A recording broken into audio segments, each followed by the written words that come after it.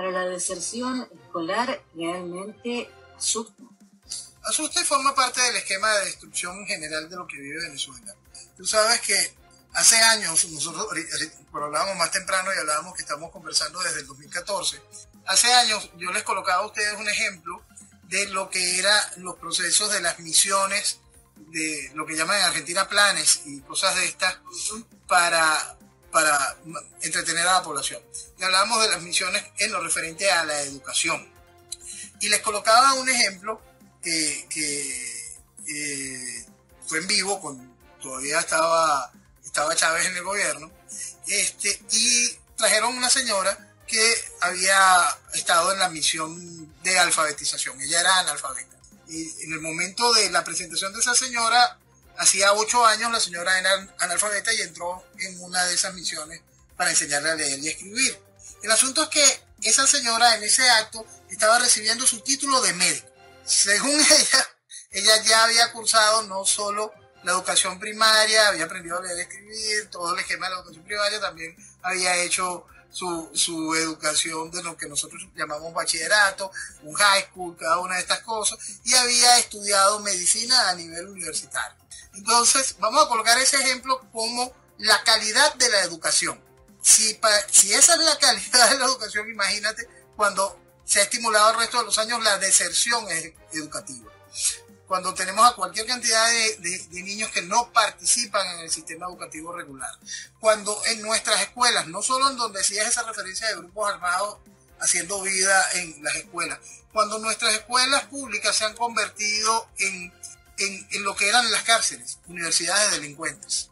Nuestras escuelas públicas son hoy un antro donde los muchachos aprenden lo peor de lo peor más allá de lo que puedan hacer algunos profesores en un sano intento de intentar educarlos, inmediatamente lo que atienden en, los patios de recreo, en los pasillos, es lo peor, lo podrido, lo sordo, la maldad.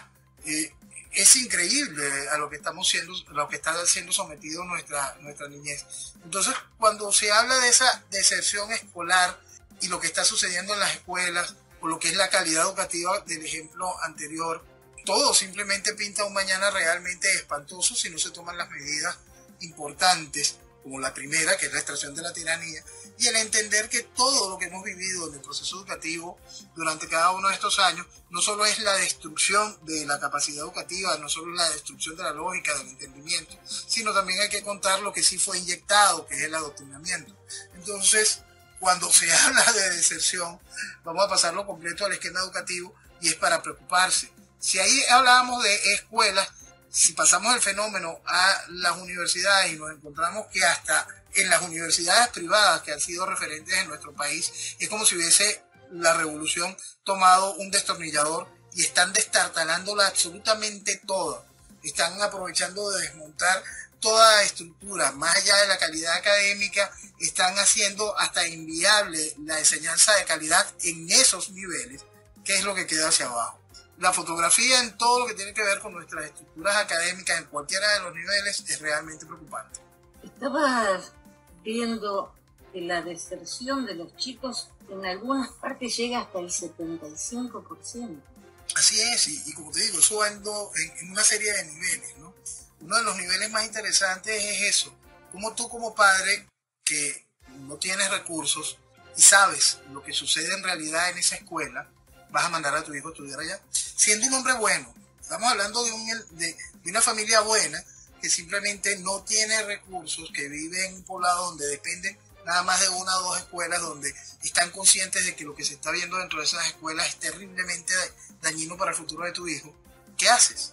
Porque no estamos ahí, vamos al otro ejemplo, que es el que simplemente tú no tienes cómo comprarle a tu hijo los útiles, no tienes cómo simplemente el, pasaje, el costo del transporte para llevar a tu, a, tu hijo al liceo se hace un imposible, no lo alimentas bien por, la crisis económica, es decir, por el caos económico.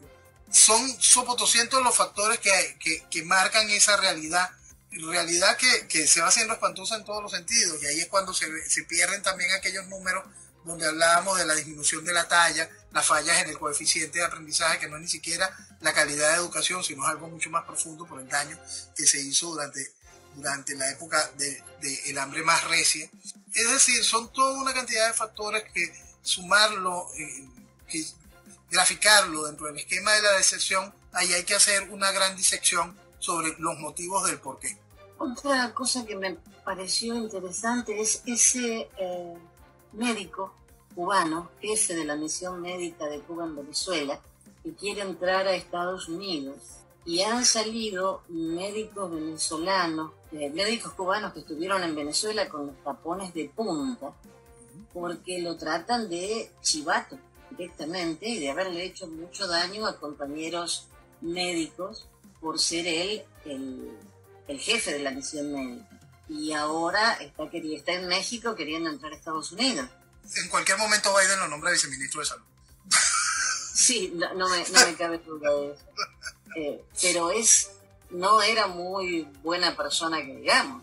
Es la absoluta seguridad.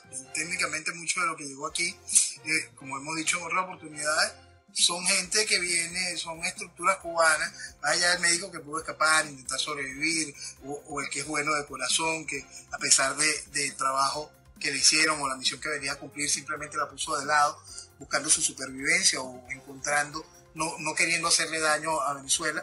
Lo cierto es que eso es parte de ese ejército de ocupación cubano que está entrenado, que está colocado para, para intervenir en un país. Entonces, es lógico que los que lograron escapar de, de la isla prisión a través de estos mecanismos y conocen al personaje, hagan las denuncias como tales pero la, la realidad política es la que te dije como comentario anterior. En cualquier momento Biden lo nombra viceministro de salud o algo así. Sí, yo conozco varios médicos que han salido en misión simplemente con la idea de que cuando pudieran, escapaban. Esa es la, gran realidad. La gran realidad de siempre es esa. La de los equipos de béisbol que se escapa el equipo completo, los, los gimnastas que se escapan, los músicos que se escapan. ¿Por qué? Porque del comunismo se escapa. Así sí, sí, es tan maravilloso porque todo el mundo escapa. Y, es histórico, ¿no? Hay el ejemplo de Cuba.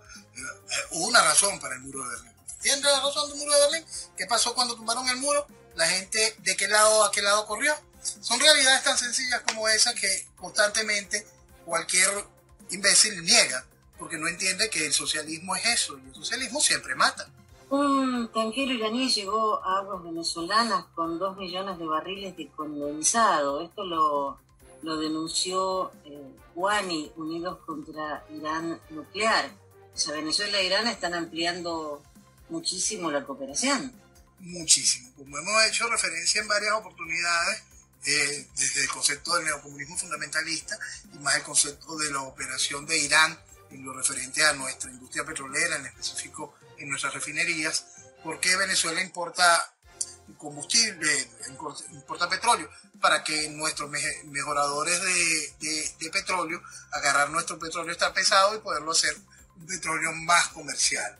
Este, antes, por supuesto, nosotros eh, comprábamos petróleo a otro, a otro tipo de clientes para poder tener esta mezcla a otro tipo de proveedores, pero ahora por estas razones lo hacemos entre países que están absolutamente sancionados y que están siendo mal vistos en todo el mundo, menos, en, menos por el, eje no occidental, por supuesto. Este, eso, por supuesto, no es la primera vez que, sucede, que, sucede y seguirá sucediendo mientras la revolución esté en el